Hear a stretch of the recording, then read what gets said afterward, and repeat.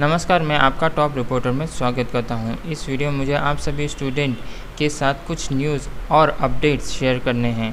NEET 2019 के result के बाद काउंसलिंग जो है जल्द से जल्द शुरू होने वाली है और आप सभी स्टूडेंट स्टेट कोटा के मेरिट लिस्ट के लिए इंतज़ार कर रहे हो। एक स्टेट कोटा का मेरिट लिस्ट अब अवेलेबल हो गया है, जो मैं आपके साथ शेयर करना चाहता हूँ इस वीडियो में। तो यहाँ पर जो स्टेट है वो आंध्र प्रदेश का स्टेट है और यहाँ पर हम देख लेते हैं कि इस स्टेट में मेरिट लिस्ट कहाँ पर अवेलेबल है। कौन सी डिटेल आपको यहाँ पर मिलेगी? तो ऑफिशियल वेबसाइट पर जाइए N T R U H S dot A P dot N I C dot in यह आंध्र प्रदेश के स्टेट के काउंसलिंग के लिए ऑफिशियल वेबसाइट है। काउंसलिंग के रिगार्डिंग पूरी डिटेल आपको यहाँ पर मिलेगी।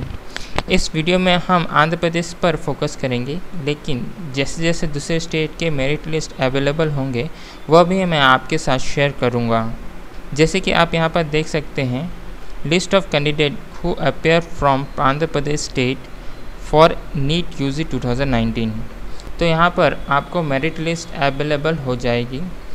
इसे डाउनलोड कर लीजिए। और आपको पता चलेगा कि आपके स्टेट में आपकी अप्रॉक्सीमेट रैंक कितनी है। ध्यान रखें ये जो है प्रोविजनरी मेरिट लिस्ट है। इसके बाद डॉक्यूमेंट वेरिफिकेशन होगा। वहाँ पर सब चेकिंग होगा और इसके बाद फाइनल मेरिट लिस्ट रिलीज़ होगा। फाइनल मेरिट लिस्ट में काफ़ी सारे चेंजेस होंगे। काफ़ी सारे स्टूडेंट जो डोमिसाइल नहीं है, उनके नाम नहीं होंगे फाइनल मेरिट लिस्ट में। और उसके हिसाब से थोड़े चेंजेस हो सकते हैं। यहाँ पर आपके स्टेट के रैंक दिए गए हैं रोल नंबर दिया गया है नीट के मार्क्स दिए गए हैं परसेंटाइल भी स्कोर निकाला गया है।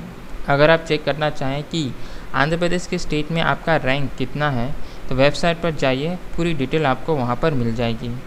तो इतना सा इन्फॉर्मेशन मुझे आपके साथ शेयर करना था। अगर आपको ये वीडियो पसंद आया हो और ऐसे ही वीडियो और देखना चाहते हो तो नीचे जो लाइक का बटन है, जो सब्सक्राइब का बटन है, उन्हें दबाना मत भूलिए। धन्यवाद।